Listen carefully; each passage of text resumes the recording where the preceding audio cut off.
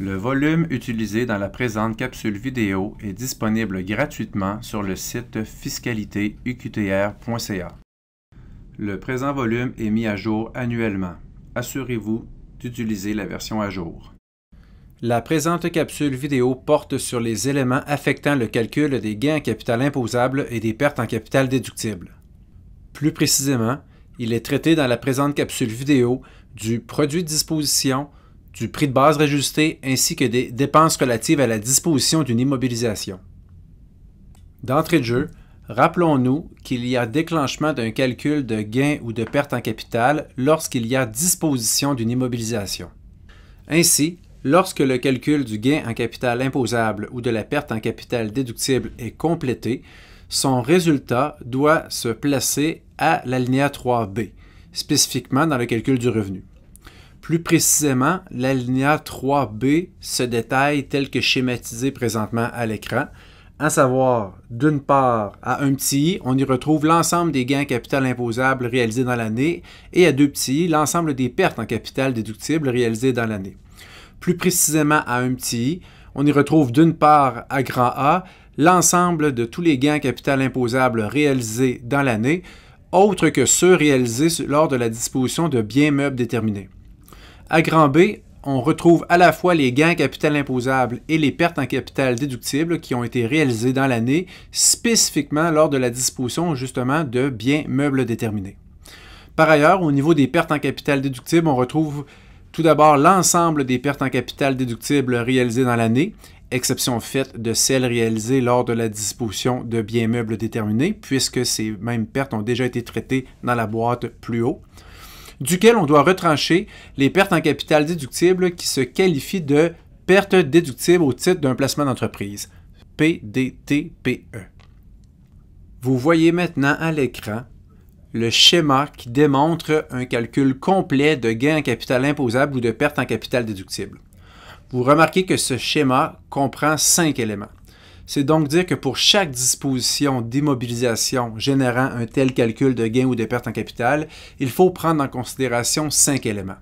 Il s'agit d'une part du produit de disposition, duquel on doit retrancher le prix de base rajusté de l'immobilisation qui est disposée, duquel on doit retrancher les dépenses relatives à la disposition, auquel on ajoute la provision pour gain capital qui a été déduite dans le calcul du gain capital l'année précédente, et auquel on doit retrancher la nouvelle provision pour gain capital qui est admissible en déduction dans le calcul du gain capital de l'année courante. Ces cinq éléments étant pris en compte, on obtient ce qu'on appelle soit le gain capital si le résultat est positif ou la perte en capital si le résultat obtenu est négatif. S'ensuit un fractionnement par un taux d'inclusion de 50% pour obtenir le gain capital imposable ou la perte en capital déductible relative à une transaction donnée. Tout d'abord, Quant au produit de disposition de l'immobilisation, ce terme est un synonyme de prix de vente de l'immobilisation. Ce montant correspond donc à la contrepartie reçue par le contribuable qui dispose de l'immobilisation. Le prix de base rajusté, quant à lui, est un synonyme du prix d'acquisition de l'immobilisation payé originalement par le contribuable. Certains éléments peuvent avoir un effet à la hausse ou à la baisse sur le prix de base rajusté d'une immobilisation. Regardons-les de plus près. Tel que mentionné, le prix de base rajusté est un synonyme du prix d'acquisition d'une immobilisation. Cependant, dans certaines circonstances, certains éléments peuvent venir s'ajouter à ce prix de base rajusté et d'autres peuvent venir le retrancher. Regardons ces contextes d'un peu plus près. D'une part, est ajouté au prix de base rajusté d'une immobilisation les intérêts sur un emprunt et les impôts fonciers qui sont payés relativement à un terrain qui n'est pas utilisé principalement pour générer un revenu. Cet ajout s'explique par l'existence d'une règle qui empêche, pour un contribuable, de déduire les intérêts qu'il paye sur un emprunt ainsi que les impôts fonciers relatifs à un terrain qui n'est pas utilisé pour gagner un revenu.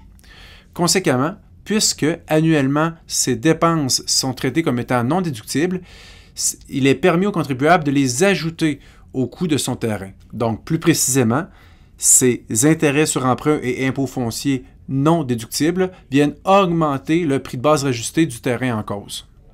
Un autre montant qui vient augmenter le prix de base rajusté d'un bien est le montant de l'avantage imposable qui a été ajouté dans le calcul du revenu d'emploi d'un employé qui a fait l'acquisition d'actions par le biais d'options d'achat d'actions octroyées par son employeur.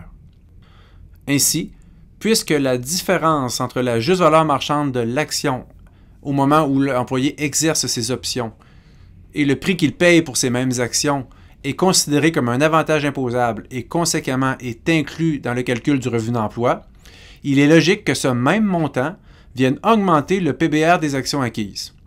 Ainsi, l'ajout de ce montant au PBR des actions acquises évite aux contribuables de vivre une situation de double imposition, c'est-à-dire que le même enrichissement réalisé sur une action ne soit imposé à la fois comme un avantage imposable dans le calcul du revenu d'emploi et à la fois comme étant un gain capital lors de la disposition des actions.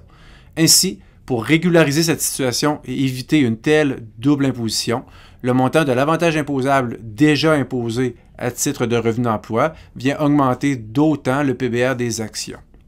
Conséquemment, lorsque l'employé disposera des actions, le PBR ainsi augmenté viendra réduire le gain capital en fonction de la portion de l'enrichissement déjà imposé à titre d'avantage imposable. Un autre ajout étudié dans la présente capsule vidéo est celui concernant les pertes apparentes réalisées sur la disposition d'un bien. Essentiellement, une perte apparente est une perte en capital qui est refusée à un particulier vendeur lorsqu'il dispose d'une immobilisation en faveur d'une personne lui étant affiliée, plus précisément en faveur de son conjoint. Ainsi, une telle perte apparente est jugée comme étant non déductible pour le contribuable vendeur et cette même perte vient augmenter le PBR du bien ainsi disposé pour le conjoint qui en est maintenant le propriétaire. C'est donc dire que le conjoint qui a acheté l'immobilisation voit son PBR augmenter d'un montant équivalent à la perte qui a été refusée au contribuable vendeur. Un dernier ajout au PBR est celui concernant la part des revenus d'une société de personnes attribuée annuellement à un associé qui doit être ajouté au PBR de sa participation dans la société de personnes. Sommairement, lorsqu'une société de personnes réalise des revenus, elle n'est pas tenue d'inclure ces revenus et de s'imposer dessus. Ce sont plutôt les associés, c'est-à-dire les détenteurs de participation dans cette société de personnes, qui doivent faire cette inclusion et s'imposer sur les revenus gagnés par la société de personnes. Ainsi, afin d'éviter une situation de double imposition, tout montant de revenus attribué à un détenteur de participation et sur lequel ce dernier doit s'imposer engendre un montant équivalent qui doit être ajouté au PBR de cette participation. Cet ajustement, encore une fois, est nécessaire afin d'éviter une situation de double imposition. C'est-à-dire que toute plus-value prise sur une participation dans une société de personnes est, en quelque sorte attribuable aux revenus passés qui ont été générés par la société de personnes. Et puisque ces revenus sont imposés annuellement dans la déclaration de revenus des détenteurs de participation, il serait anormal qu'un tel détenteur de parts, lorsqu'il les vend, s'impose sur cette même plus-value sous la forme d'un gain capital. Ainsi, afin d'éviter de retrouver la même plus-value sous forme de gain capital lors de la disposition de la participation dans la société de personnes, annuellement, un tel détenteur peut augmenter le PBR de sa participation d'un montant équivalent au revenu qu'il s'est fait attribuer par la société de personnes et sur lequel il s'est imposé. Remarquez que l'ajustement miroir s'applique lorsqu'une perte d'une société de personnes est attribuée à un détenteur de parts et conséquemment engendre un retranchement au PBR de la participation.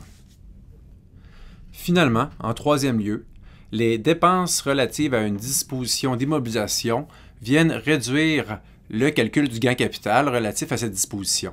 Il s'agit essentiellement de l'ensemble des dépenses qui sont encourues par le contribuable dans le processus relié à la disposition de son immobilisation. On y retrouve, à titre d'exemple, les frais de commission, les frais de courtage, frais juridiques, taxes de transfert, frais de publicité qui sont payés par le contribuable et relatifs à la disposition d'une immobilisation. Remarquez que ces mêmes frais, lorsqu'ils sont encourus dans le processus d'acquisition d'une immobilisation, doivent plutôt être ajoutés au prix de base rajusté de l'immobilisation acquise.